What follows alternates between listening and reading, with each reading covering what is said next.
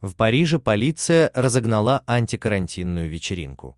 На ней собрались сотни людей. В центре столицы Франции полиция пресекла массовое собрание молодежи.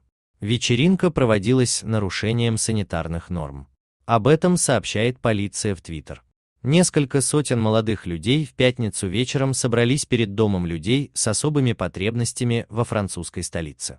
Отмечается, что участники акции были без масок и игнорировали правила социальной дистанции. Около полуночи полиция пресекла это собрание. Правоохранители действовали в целом корректно, но против некоторых лиц был применен слезоточивый газ. Ранее сообщалось, что в коммуне Льоран устроили вечеринку с участием 2000 человек. При попытке разгона произошли столкновения с полицейскими.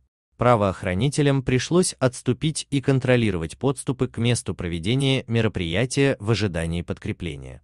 В ходе столкновений был сожжен один из автомобилей полицейских. Три правоохранителя получили легкие травмы.